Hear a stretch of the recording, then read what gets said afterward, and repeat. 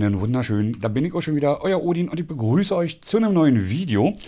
Ich habe eine Anfrage gekriegt, habe eine Anfrage bekommen, ob ich ein Video machen wollen würde zu einem Produkt. Beziehungsweise, also ihr seht es ja sowieso in der Videobeschreibung, zu einem Fliegengitter. Das ist hier. Und ich würde sagen, wir wechseln mal in die Unboxing-Ansicht, dass ich euch das näher zeigen kann. So, wir sind in der Unboxing-Ansicht.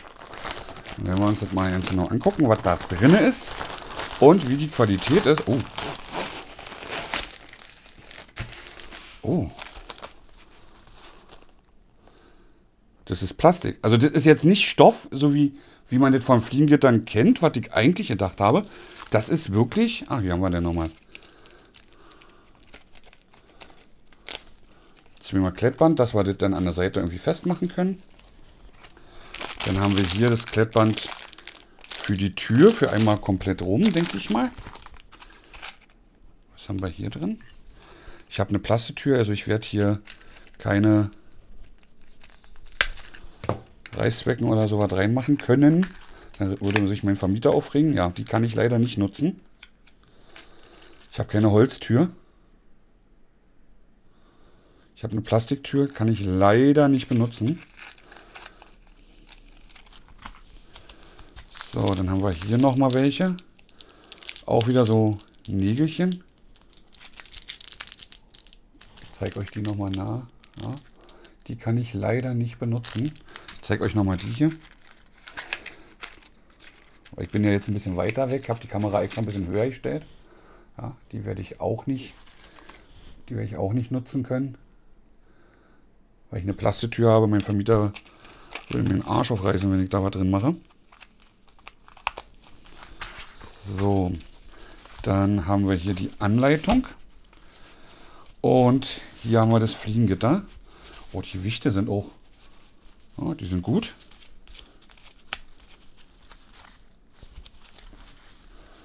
Ich werde mal kurz... Ah, hier oben haben wir dann noch so eine... Wartet mal, ich werde mal so machen, dass ihr das vielleicht ein bisschen besser seht. Ich habe mir nämlich extra ein Blatt Papier hier gelegt. So ist halt so eine, ja, so eine, so eine Kante, damit es schön aussieht. Also so Art Gardine mäßig gemacht. Ja. Die ist aber lose und könnt ihr auch abmachen, wenn ihr wollt, aber hier unten, das ist halt dann wirklich so richtig, also das ist kein Stoff, das ist so richtig schön Gummi, also das ist wirklich stabil. Und hier innen drin haben wir dann, ja, ich mache mal so, dass ihr das vielleicht besser sehen könnt. Wir haben hier Klettband, das weiche und hier. Und das wird dann natürlich an die Tür rangeklebt, wo wir das dann ranmachen können. Dann gucken wir uns mal die Anleitung an, die wir hier mit bei haben. Wir haben sie in Französisch, Spanisch, Dänisch, Niederländisch, Polnisch, Englisch und Deutsch. Und dann natürlich Bilder nochmal. Wir sollen das auslegen dass es gerade liegt, dann sollen wir das Klettband ranmachen an das an die an die ähm, ans Fliegengitter.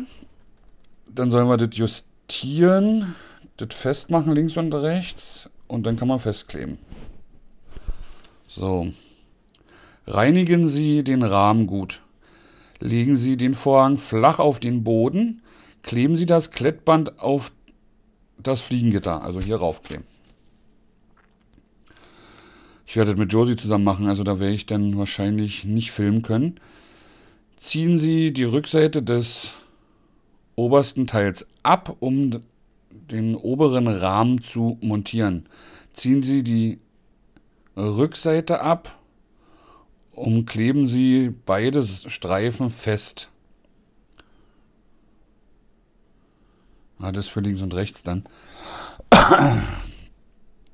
Verwenden Sie den Klettverschluss, um den Vorhang bei Bedarf zu binden. Ah, Hinweis: Feuer fernhalten von Feuer fernhalten, lassen Sie beim Messen die Unterseite der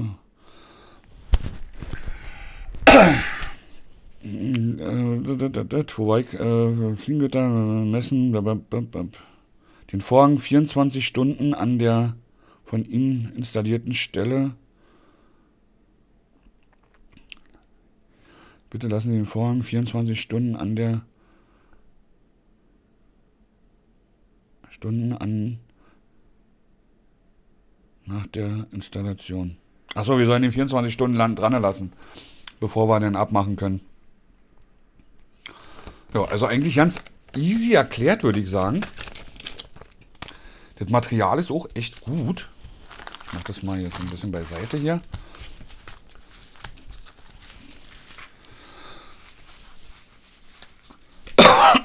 Die Größen waren jetzt halt nicht so. Ich muss mal gucken, wie ich das dann mit der linken Seite mache, weil meine Balkontür wirklich ein echt beschissenes Maß hat. Aber ich hoffe, dass es dann trotzdem passt. Oder dass ich es passend machen kann. Und hier haben wir dann ja, Magnete, dass die dann halt zusammenhalten. So. So, ich mache das mal so, das, das sieht dann etwa so aus. Ja, Wenn es dann hängt, sieht es dann so aus.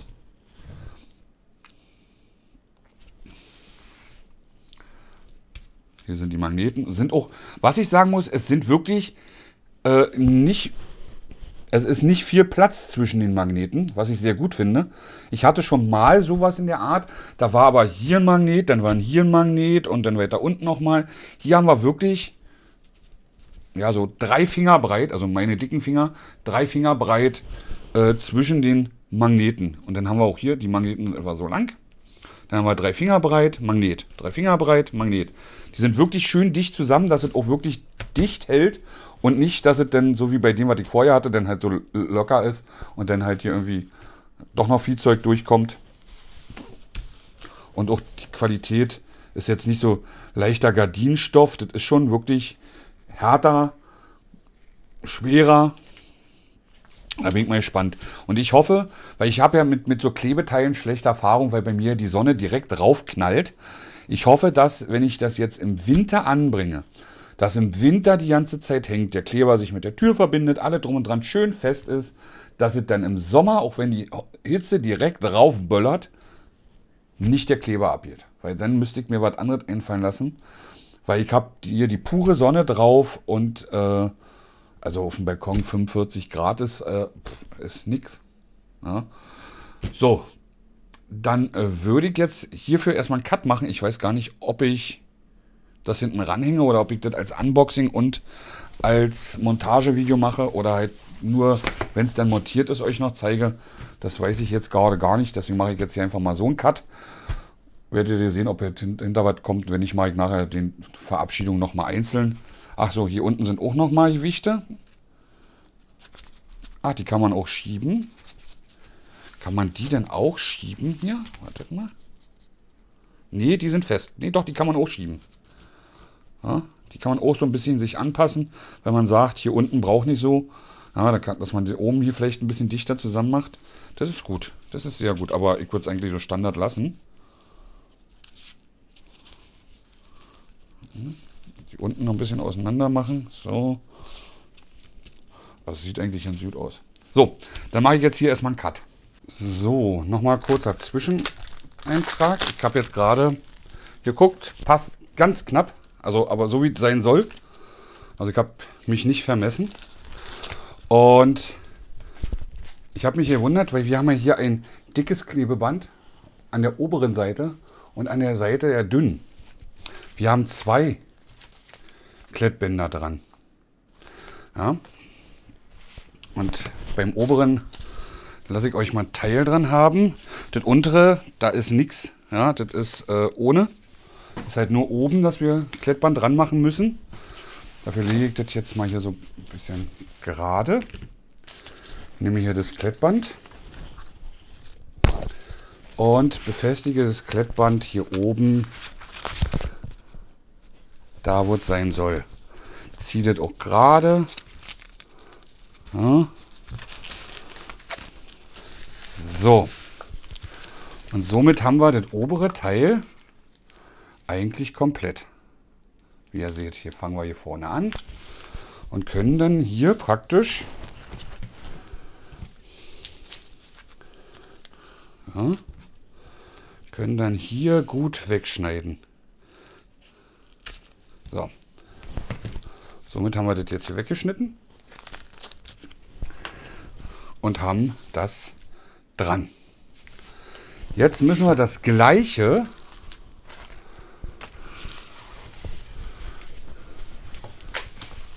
mit beiden Seiten machen. Ich würde das auch eigentlich alles dran lassen und mache mir das jetzt einfach mal hier auf der oberen Seite. Ich mache mal das Messer hier weg.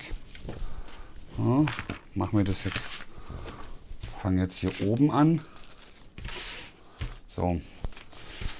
So, das Dicke habe ich jetzt wirklich bis zum Ende gemacht. Ja, und dann nehmen wir uns den Anfang wir rollen es am besten hier noch mal so ein bisschen auf. Ich mache das mal noch ein bisschen weiter aufgerollt. So. Und wir fangen nämlich jetzt hier oben an. Ich ziehe jetzt hier mit der Hand gerade. Und dann gehe ich hier richtig schön oben ran und klebe das hier rauf. So. Und ihr seht, ich bin jetzt schon schräg gekommen. So. Jetzt bin ich aber gerade. Warum macht man zuerst das Klebeband hier rauf und klebt es dann an, dass man halt an die Tür nicht schräg kommt, weil so klebt man das auf, vernünftig gerade und das passt alles und dann sind die auch auf Spannung mit nach unten am Boden, die Bänder und auch links, rechts ist dann richtig die Abmessung, damit es da halt nicht ähm, in der Mitte zu schlackerig ist. Ja, dann, so, also hier, dass es dann halt hier nicht zu locker ist, dass es wirklich, dass es wirklich so ist. Ja? Und dann können wir hier auch unten komplett abschneiden. Ich mache das mal hier so ein bisschen weg. Also am besten, ihr macht dann den, den Stoff hier so ein bisschen weg. So. Dann schneidet er genau da ab. So. Dann ist hier so Mühe übrig, aber das ist egal. Und ihr habt eine Seite fertig. Jetzt müssen wir das Ganze mit der anderen Seite machen. Und dann fangen wir hier halt wieder ganz normal an.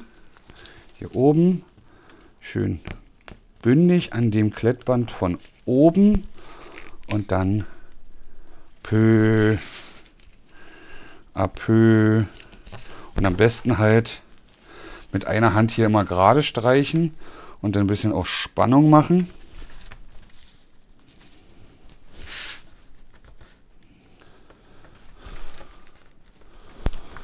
So, und jetzt sind wir am Ende. Ich gucke nochmal nach. Sind wir hier bündig? Eigentlich, na hier unten. Millimeter, Millimeter daneben. Kann man nochmal justieren. Zack. Aber jetzt sind wir so was von gerade. So, jetzt wieder den Stoff hier unten so ein bisschen weggebogen, dass wir das dann halt hier abschneiden können und dann gerade machen. Super. Perfekt. Ja, da brauche ich dann Hilfe, weil beim Anbauen, beim Festhalten und so, weil bei mir ist es halt doof. Ich habe bei dem Türrahmen habe ich so eine Jalousie und das ist halt wirklich, da kommst du wirklich nur mit zwei Fingern ran irgendwie und da muss da dann muss unten festgehalten werden, mit die Wichte und so, da ein bisschen höher gemacht werden, dass es nicht so doll nach unten zieht, dass ich das da halbwegs oben rin kriege. Da muss mir die Große dann dabei helfen. Aber naja, das werden wir dann nachher machen. So, ich hoffe, durch den Wind und so kann man mich trotzdem noch hören. Ich habe es jetzt angebaut. Ich hatte, wie gesagt, ich habe das auch extra mal gelassen, wie ich es früher hatte. Das sind die alten, die habe ich dann hier am Schalesettenkasten von innen festgeklebt mit mit ähm, äh, Heißklebepistole, weil der normale Kleber nicht erhalten hat. Aber der hier, der ist bombenfest. Also ich habe das jetzt hier festgeklebt. Ich hatte das hier jetzt vergessen abzu äh, lose zu lassen, damit man das hier auch abmachen kann. Zeige ich euch gleich. Ja, habe ich da? So, das war ein Akt, das hier wieder lose zu kriegen. Aber es hält trotzdem noch wie Bombe. So, und jetzt hier auch noch lose machen. Zack.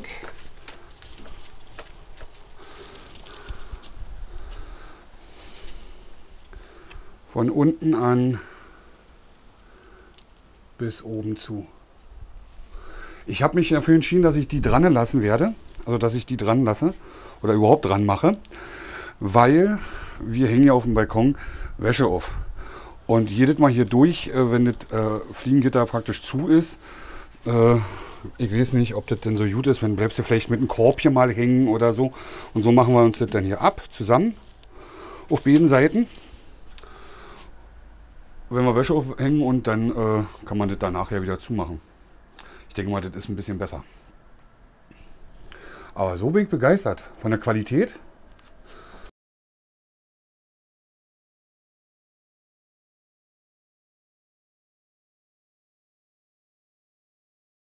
Na komm.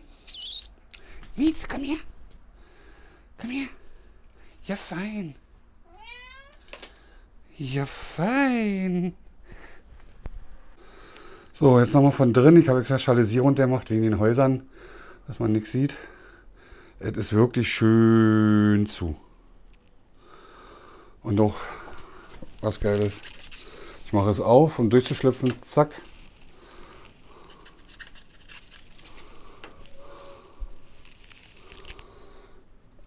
und weg und alles wieder zu.